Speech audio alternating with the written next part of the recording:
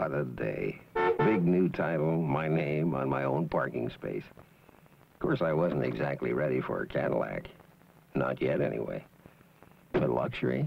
Yeah, I wanted luxury. Like my new ambassador, the DPL. My first luxury car. Coil spring seats, front and back.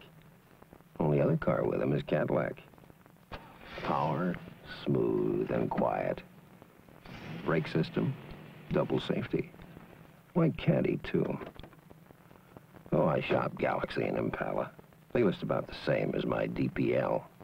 When is a young man ready for his first luxury car? American Motors says right now.